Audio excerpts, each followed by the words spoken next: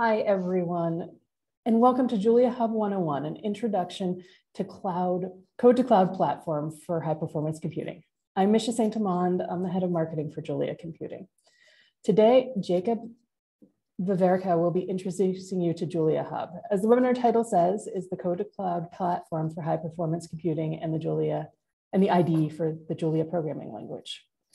A little background on our speakers today. Jacob spent six years building applications and services for simulation and modeling workflows. He's now part of Julia Computing's team that helps introduce customers to the latest scientific machine learning techniques for industrial simulation and modeling.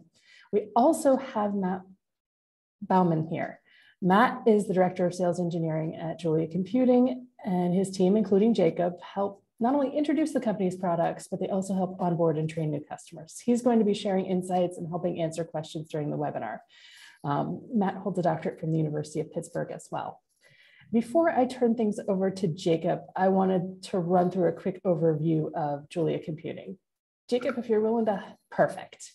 Um, as you can see, the foundation of our company is the Julia programming language and the community behind it. Uh, the four co-founders of Julia, plus a few other folks who were Julia fans, joined together to found Julia Computing.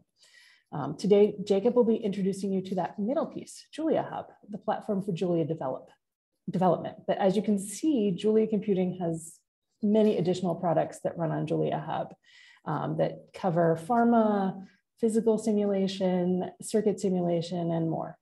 So I'm going to turn things over now, and I thank you so much for joining. Thank you for that, Misha. So yeah, just as she said, we, we spent a lot of time talking about our products, which are all built on top of Julia Hub. Uh, today, however, we're going to give Julia Hub its due and talk a little bit about just the foundational piece that forms this, this uh, platform with all these amazing products. So let's get into it. So Julia Hub is an enterprise cloud computing platform for distributed, cost-effective, and reproducible computing and it's optimized for Julia. So what does all this mean? It is a place where you can build, uh, you can build code, you can collaborate with others, you can share your projects, and you can even develop uh, end user applications all from within here. So we're going to be taking a look at each of these pieces. Um, to do so, I am going to have some code to share, but uh, the focus isn't really what that code does. Um, it's more about how we're going to use each of these different uh, building blocks of Julia Hub to envision how we can build out uh, larger, larger projects and packages. So we're going to see how Pluto can help us uh, build and collaborate uh, and run notebooks. So how we can um, take some ideas and concepts and really quickly get those into code and get those in, in the hands of other people uh, so they can actually uh, see what we're envisioning, what we're trying to accomplish, and uh, give us some, some proper feedback. Uh, from there, we're going to look at how we can develop Julia Code on the platform with a browser-based IDE and VS, VS Code. So VS Code is the preferred IDE for Julia users, especially since uh, the Atom project is sunsetted. Really, um, VS Code offers an unparalleled uh, IDE uh, experience for Julia developers. So it's great to um, you know index your project, uh, debug debug your code, um, all those great things, and then Julia Hub offers an extension for the VS Code um, IDE, which is going to allow you to um, scale up your your projects. And we'll take a look at that as well. Um, so we're also going to see how we can create and share packages and uh, PKG, the Julia package manager, which is built in, is really first class. And there's a lot of great open source tooling that goes into uh, helping people make some high quality packages that you can create to share with uh, the general open source community or uh, amongst your team as well. And then um, lastly, we're going to take a look at how we can scale these jobs.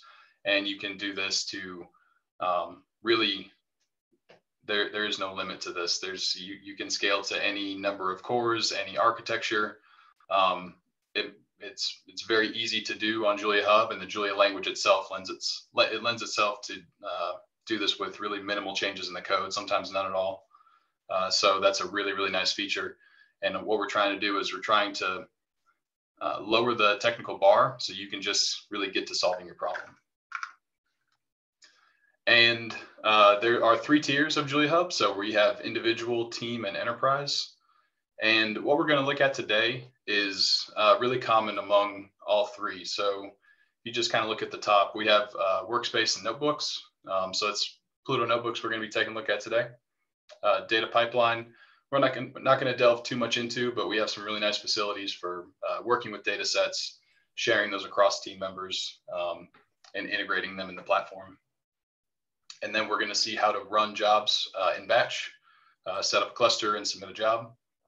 Uh, and then we're going to touch a little bit on uh, private package registries and uh, how we can actually register jobs on Julia Hub.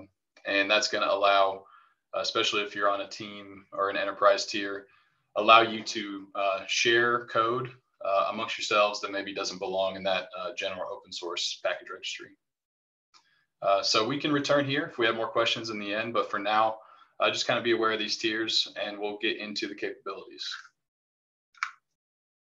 So the goals for what we're going to discuss, we're going to talk about how we can develop applications with the browser-based IDE. So we're going to take a look at uh, what that looks like exactly, um, how we're going to also leverage compute from that uh, browser-based IDE um, to submit jobs and a varying number of uh, compute resources and architectures.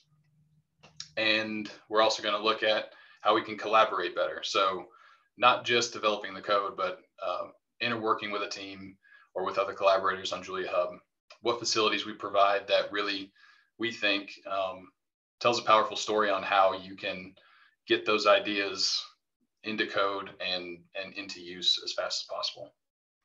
Um, and hopefully by the end of all this, we're going to give you everything you need to get started on what we truly believe is the best platform for Julia development. Um, and if we just look right there below the logo, it's um, Julia Hub is always aiming to be the simplest way to get started with this fantastic language. It's proven itself to be the fastest scientific, mathematical, statistical, computational language yet. So um, it's got a strong following, and I think it's for good reason. I think that Julia Hub really trying to just uh, pave a, pave a way for as many people to uh, make use of this language and start building some great tools. So that's the that's the goal here. Hopefully, you leave uh, with a, um, a call to action and a sense like you can get started. So first with compute. Um, we're going to look at how we can develop and uh, compute from the browser-based IDE, how we can quickly and easily scale our Julia jobs to leverage those varying, uh, those varying compute resources on, on different architectures. So before I go uh, with a little interactive de uh, demo, I'm just going to prepare you for what we're going to see. So the image that you're seeing uh, probably looks a lot like uh, the sidebar for Visual Studio Codes because it is. And we have the Julia Hub extension right there. So whenever you're working on a file, this is all it takes to submit that job to a cluster and run it in, uh, in a distributed fashion. So there's no shell scripting, no networking, no infrastructure set up from the IT team that, that is required. You can just take that code that you're working with interactively and submit it um, by filling out these couple fields. So first we are going to declare the main Julia file that we want to submit. Uh, we're going to specify a bundle directory if, um, if that's applicable. So um, if there's a project file or any other um, you know, data dependencies that we need to submit this main job with, We'll configure the compute resources. So for instance, we can run this on a single process. Uh, that's a GPU architecture that has two virtual CPUs and uh, each with four uh, gig of mem. And we can also set some limits if we want to. We can say, uh, do not run this longer than two hours or longer than $2 or what have you. Um, so that's the, that's the limit. And then we can specify the job type for us, it'll be Julia, and then we can give it a name, and then we're just ready to start that job. So again, um, no need for delving into configuration files. It's all done through the extension. And so with that, I'd like to take you to Julia Hub. So this is this is the homepage that you'll find. And if we uh, look here, we have some different applications. So this Julia IDE is the browser-based IDE that we've been we've been speaking of. And in order to start one of these, uh, you can launch a new instance. So if I click this, I can declare what compute resource I want to use for this application to run on. So if I want it to run on a CPU or GPU, I can decide that. If I want it to run with a certain number of uh, vCPUs and a certain amount of memory per each one, I can decide that. Um, I can set a, a, limit for this application, just like uh, I spoke about with batch jobs. Um, and then I can also decide if I want to only allow my account or allow other logged in users.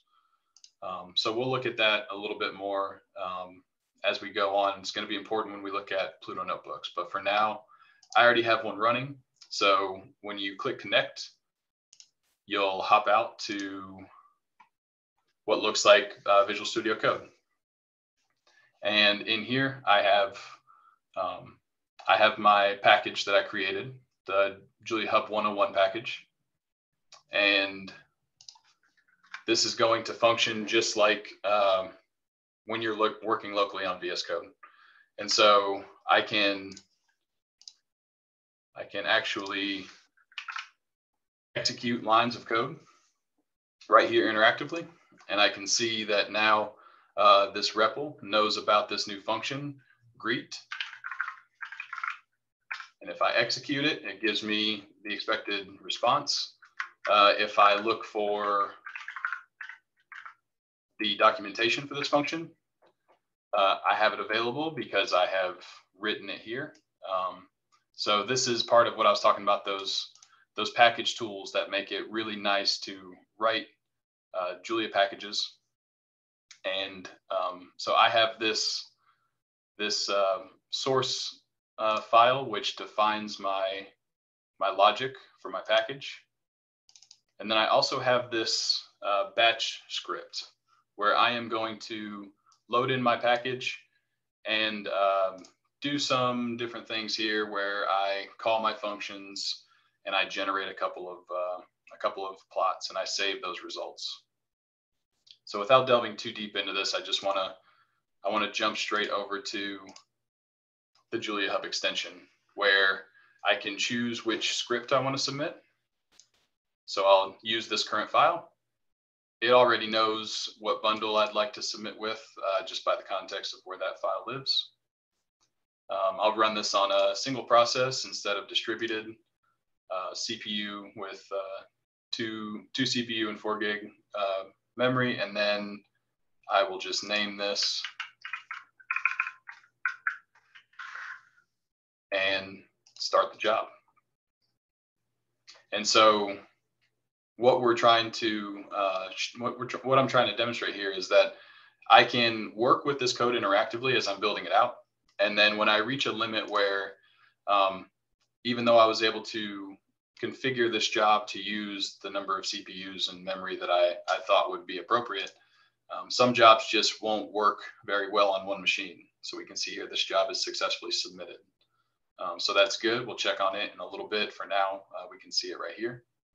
Um, so when you're ready to scale up these jobs, this Julia Hub extension is right here, ready, um, waiting for you to to scale up that job to uh, variable amounts of uh, number of machines with with uh, different amounts of compute, right? So um, it's a great way to um, kind of get started and get to get some ideas into code. And then when you approach that problem that does require cloud compute, um, we make that just as easy as we can here. So um, with that, let's uh, let's go back over to Julia Hub and let's take a look at our jobs. Um, in here, I can see that uh, this is the job I just submitted and it's still in, in progress. That's what the Uh, that's what this icon means. It means it's running. But uh, I did just submit one uh, not too long ago. So let's go ahead and just take a look at that. It's this exact same file. If I click on results, then I will see the uh, plot that I expect to see. And um, this can be a single file. This can be a zip file with many different results. But um, the, the real takeaway being that I was able to um, use that same script, which uh, I can run interactively. So if I do so now, we're going to see that I can I can run this interactive and I can also run uh, in batch and uh, produce the same results, but I didn't have to change my code. I didn't have to set up any uh, you know new configurations. Um, didn't have to write any shell or anything like that to to get it queued, get it running, uh, you know, dedicate my my compute resource that I want, and so forth. So there we see the, the exact same plot. Um, so yeah, so this is what it looks like from the uh, browser-based IDE. And if I just switch back over real quick, um, that's telling one part of the story. So I want to I want to kind of transition because um, compute is very important to a cloud platform. So now that we have that covered, let's talk about collaboration and how we're trying to always make it uh, as simple as possible to collaborate with ease on Julia Hub.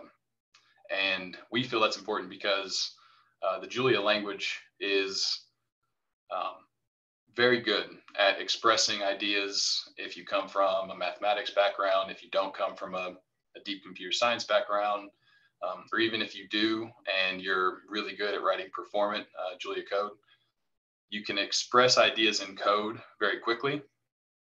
Uh, however, sometimes it's uh, good. You need to communicate with other people who don't have that background or don't know Julia or uh, are getting onboarded onto your team. So having different ways to share these ideas and these concepts is really important. Um, we're going to look at a couple different ways to do it uh, here in the slides, and then I'm gonna I'm gonna take you to take a look at it interactively.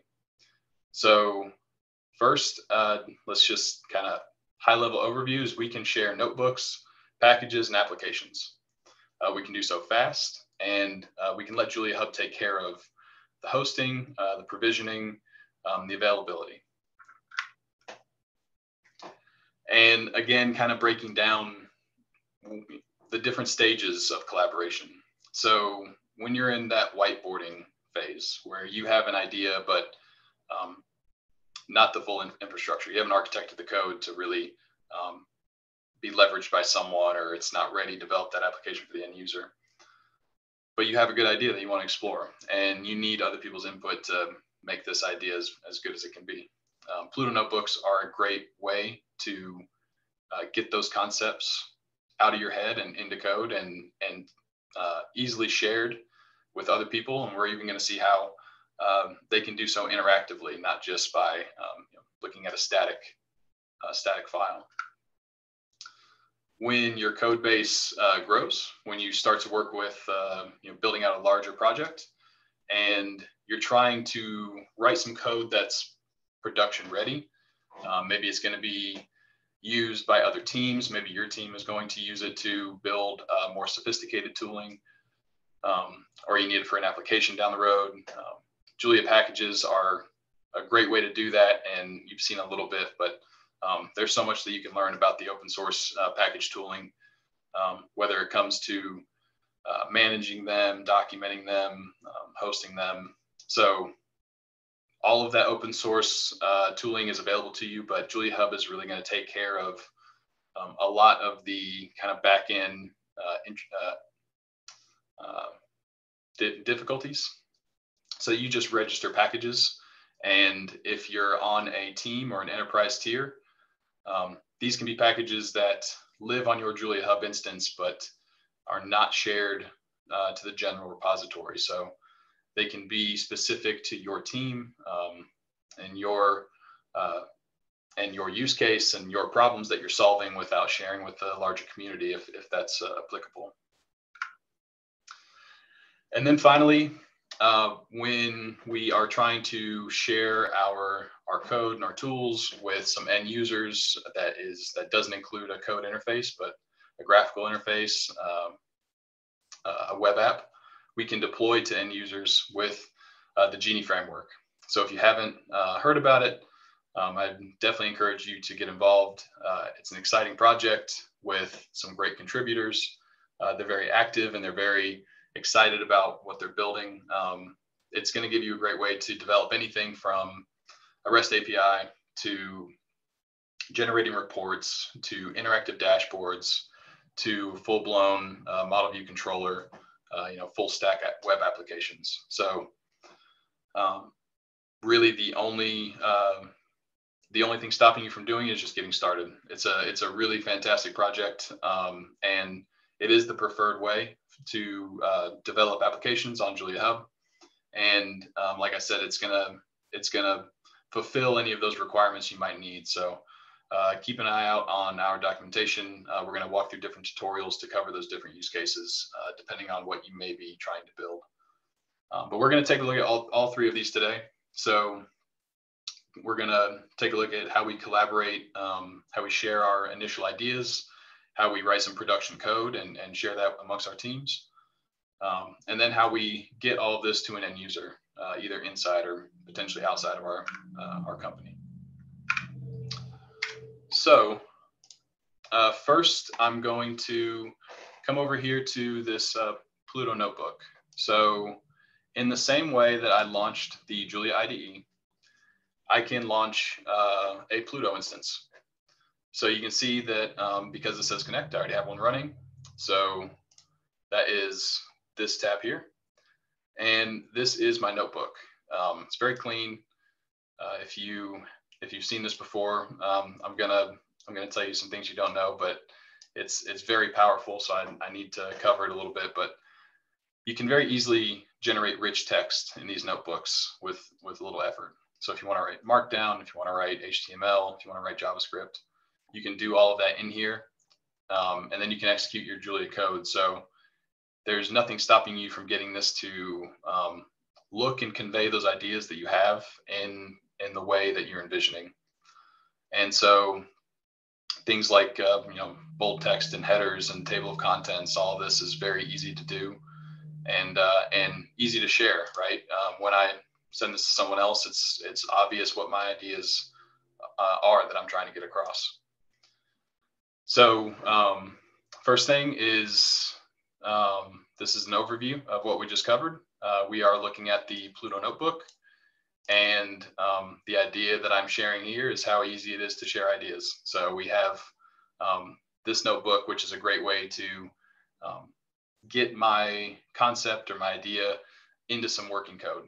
And we have great facilities to do that uh, because this can generate, uh, again, uh, one of the really uh, one of the rich text formats that I can use is uh, is LaTeX or LaTeX, and I can. This is an example of just a matrix with some random symbols in it uh, that I can generate really easily with a uh, package called uh, LaTeXify,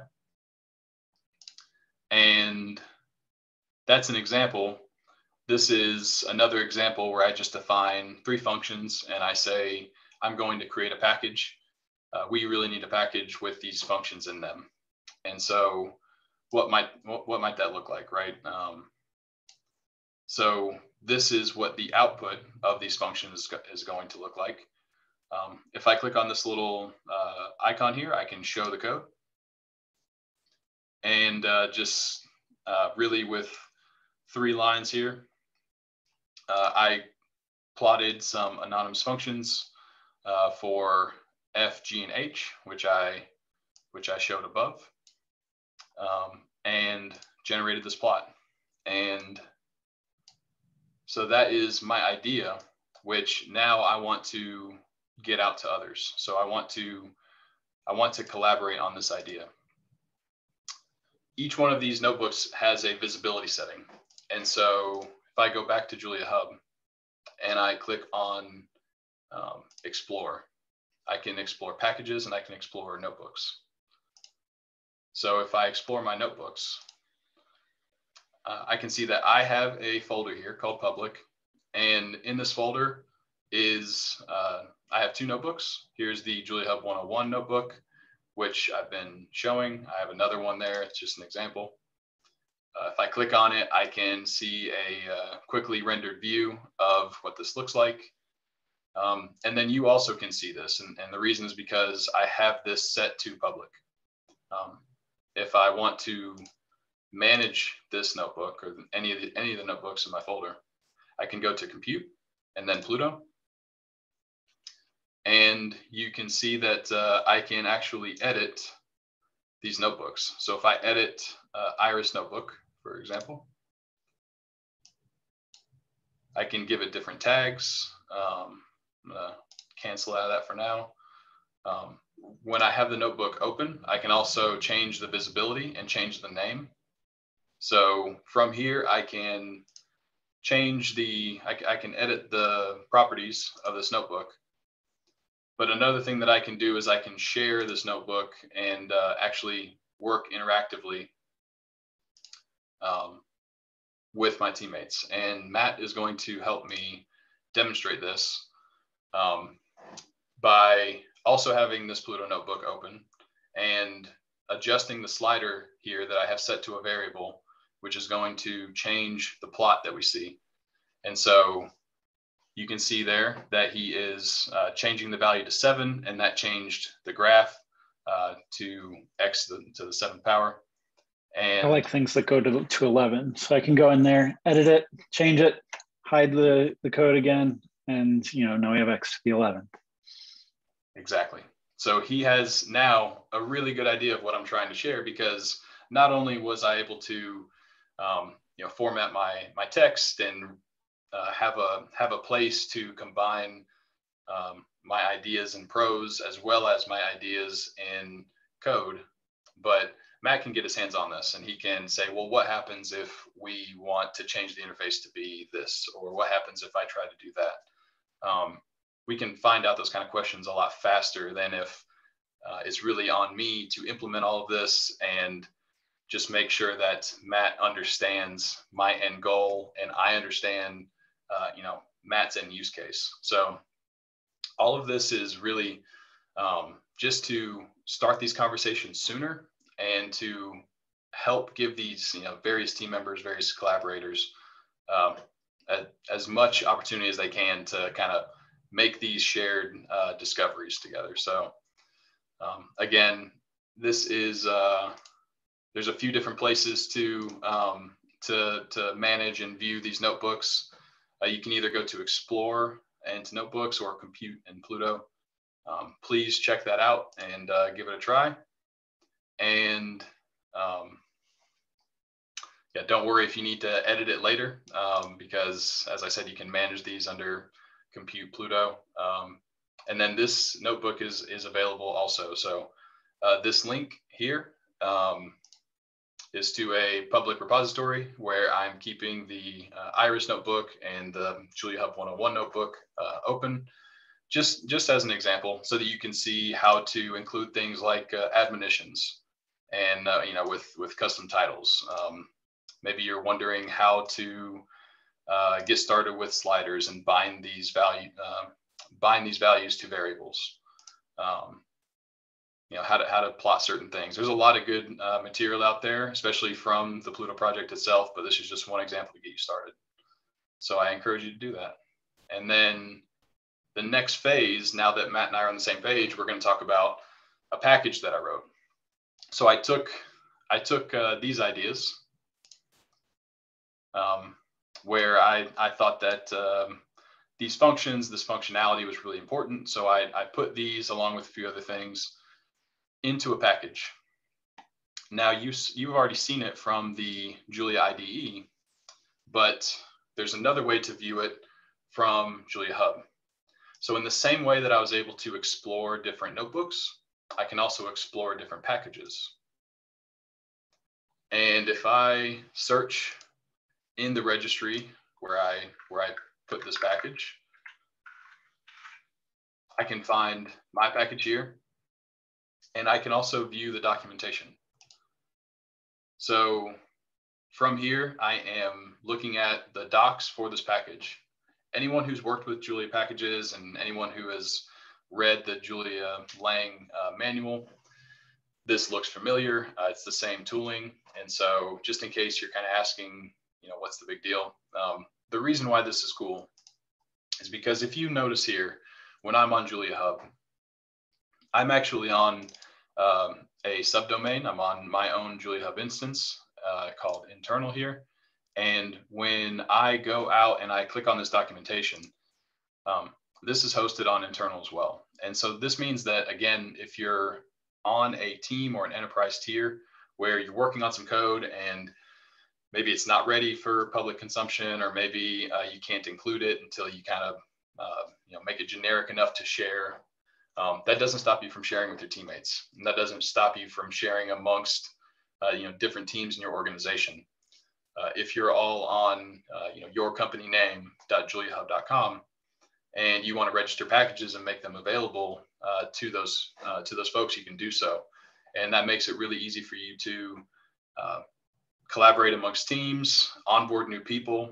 Uh, you get all of the all of the nice tools that you would experience if you were going to uh, write an open source package with Documenter, um, Documenter tools. There's there's so many different um, useful things in here to um, really make sure that the code that you write is is understandable. The it, its goal is understandable, and uh, its API and its usage is well defined. And uh, yeah, in here you can include uh, code examples. You can write little descriptions. You can um, you know you can do all the great things that are really expected now uh, in a, in a larger software project. It's not enough for just one person to understand it. We have to make sure that uh, all of our team can understand and work with these these packages that we're creating. Um, and so this is a way that I was able to share this package. Uh, if I click under contribute and I go to register packages and I go to a particular registry that I want to share to, uh, I just pasted the package URL in. And so if I go to the source code, uh, so this is where this is hosted. Um, again, this is public, so if you want to take a quick look at this, you can see how it was done. But if I copy this URL and paste in here, uh, it knows it's from GitHub. And when I hit submit, it's going to register this package.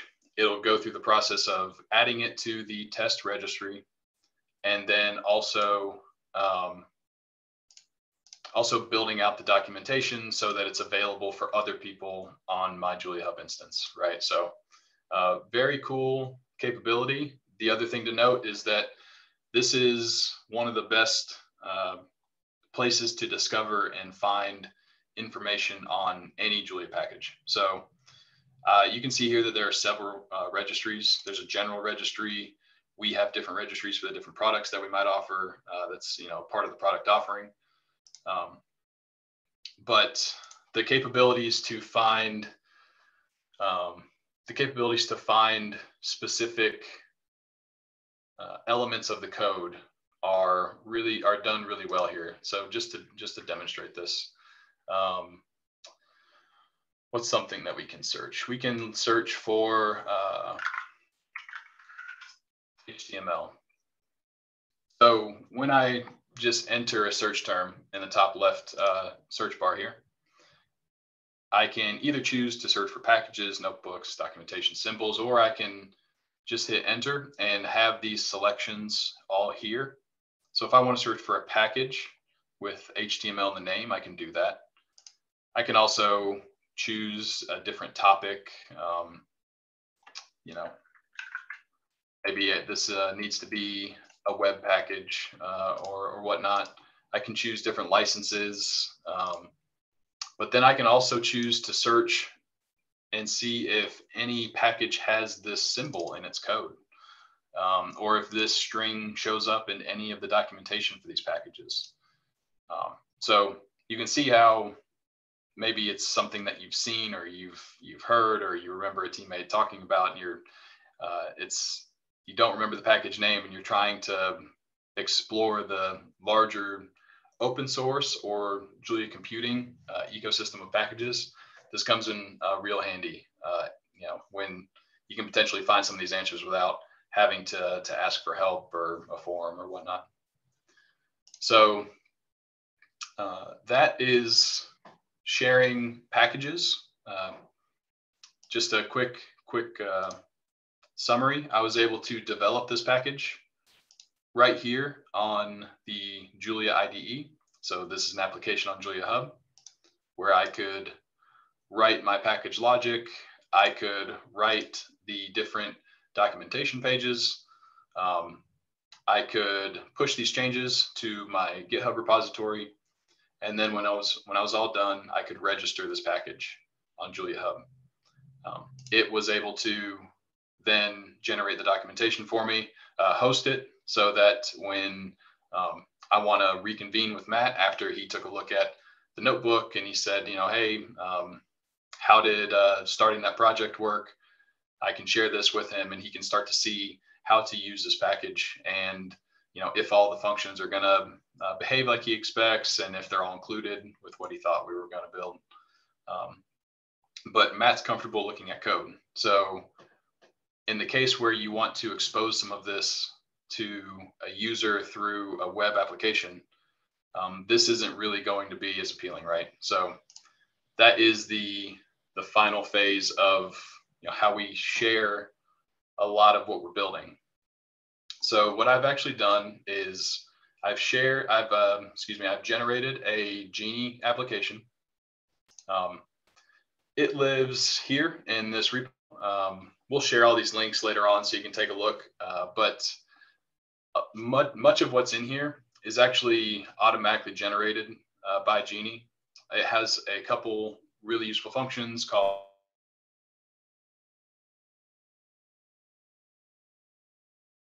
new application to just get particular resource. It's got it's got functions that take care of a lot of the heavy lifting there. So in really a short amount of time, I was able to create a web application and I was able to add this application to Julia Hub. So let me show you how I did that. Uh, right here are the two most recent applications that I've used lately, but you see that I also have a link for more. And in here are all the applications that I have access to. Um, you're going to have uh, fewer or more depending on which products of Julia Hub you are um, you are subscribed for. So these are the default applications, but I also have my applications and you can see registered applications. So these are actually other applications that are registered and made public by my teammates. Um, but what we're interested in is the one that I created. So for now, let's just look at my application. I've already started it up in the exact same way that we talked about before. Uh, we get ready to launch a new instance and I can decide what compute resource I wish to run this application on um, how long I want it to run for. The, uh, the important thing that we include here is a port number. Um, so, you know, typically default is 8000. So you just need to enter a port number here so that uh, when it runs, we have a way to access this. Um, so if I close that out and I just connect to the one that I already have open, uh, we can see my application. So uh, these are some interactive plots where uh, again I can share with someone, but it's maybe not important that they see the the code which exposes this functionality. Um, but they need to interact with it. They need to uh, you know take screenshots of it, share it with their uh, collaborators, their their teammates um, to gain new insight. Um, so Genie has a lot of uh, kind of quick UI elements, which are available by the Stipple package. It's also under the Genie framework uh, organization. And so you can um, you can create things like that you see here. This is powered by Julia Hub. This is a badge, which uh, is a UI element, which is included from Stipple.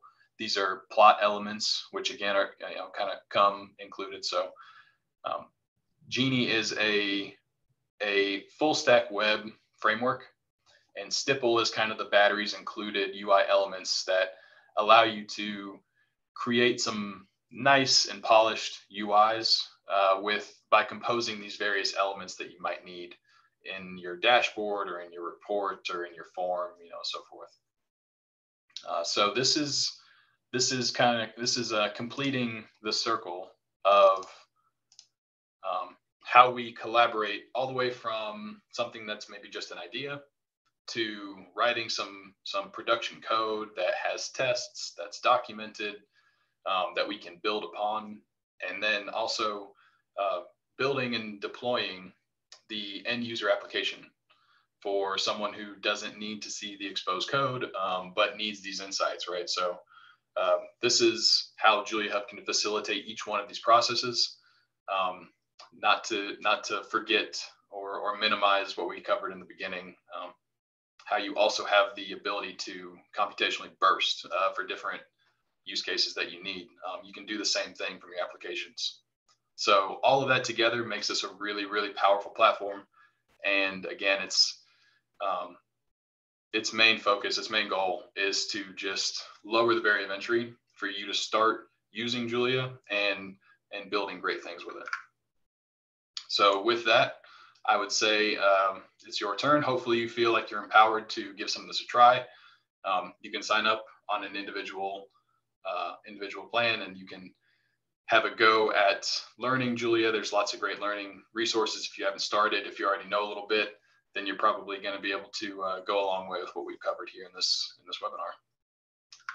Um, and the hope is that we, you know, by enabling you, by getting more people on the platform using Julia, um, sharing their ideas, we can start to accelerate um, scientific discovery, but you know, really just insights and discovery in any domain. We kind of we, we, we talk a lot about scientific discovery because that's um, where a lot of our our powers shine through uh, in the from the Julia language. But um, but yeah, anything that you think think you can or want to build, um, we encourage you to give it a try and, and try it on Julia Hub. So with that, I will open up for questions. I'm not sure how we're doing on time, but uh, hopefully we have a few minutes. We do. We do have a few minutes. Um, Matt, have you gotten any questions in you want to share with the group? Sure. So just like a, a basic question is how do you how do i get started right i don't have uh, starting from scratch where do i begin what's what's my way in through the door so you can get started by going to juliahub.com and creating an account uh, likely to create an account you will have to um, put in a credit card number if you want to use some compute but uh, regardless of of that, one thing I want to point out here that I kind of forgot about, there is a support link in the bottom right hand uh, corner of this footer. And if you click on it, it's going to give you a way to generate a support ticket for Julia Hub. And so I would say navigate to Julia Hub and create an account and get started. If you find that something's not behaving the way that you think it should, or you think that uh, you think that um, you know something's not working on uh, in your particular case, then you can submit a ticket, and uh, from there um, we'll reach back out to you and, and hopefully help you resolve it. So um, yeah, Matt, do you do you have anything to add to that? Uh, no, that's that's a great overview.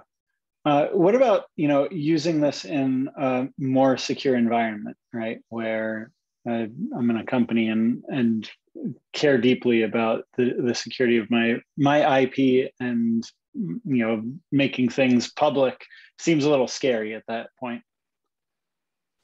Absolutely. Uh, I'm just going to to share the screen once more, um, just in case it kind of uh, spurs more more questions. But I think that uh, in that case, you really need to consider and discuss uh, an enterprise plan with uh, our sales team, and that's because the the main difference in the enterprise tier is that you're actually going to be on a, a, virtual protected cloud. So you are on dedicated hardware, which um, you know is is you're the only tenant of that hardware.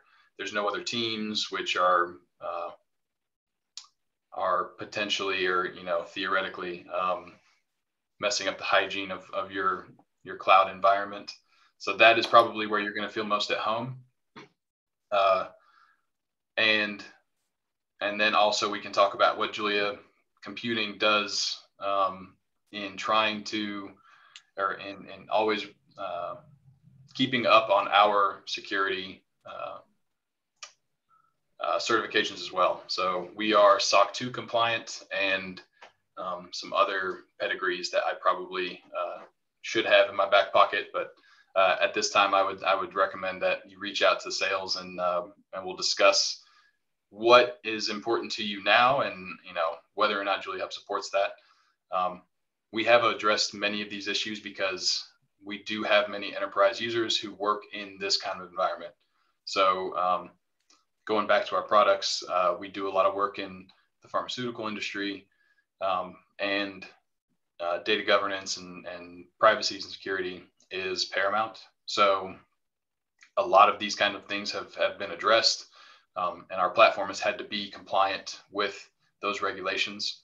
Um, so we keep that up to date, but you know, it's, it's, it's an ongoing battle. So it's something that we're constantly um, trying to improve and just making sure that uh, we take that seriously as a, uh, a company culture and, um, and yeah, make sure that we have that conversation with you if that is deeply important so that you understand exactly what we offer and exactly what kind of protection uh, that we can we can offer you for your IP.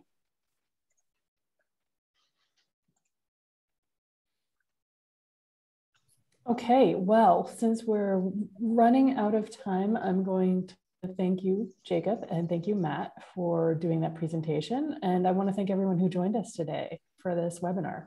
Um, we'll be sending a follow-up email that will include the links that were shared in the chat, as well as a link so you can view the recording if there are things you want to see. Um, and of course, you can always reach out to us in one of the ways that Jacob showed, either through support or uh, through sales at juliacomputing.com to answer additional questions.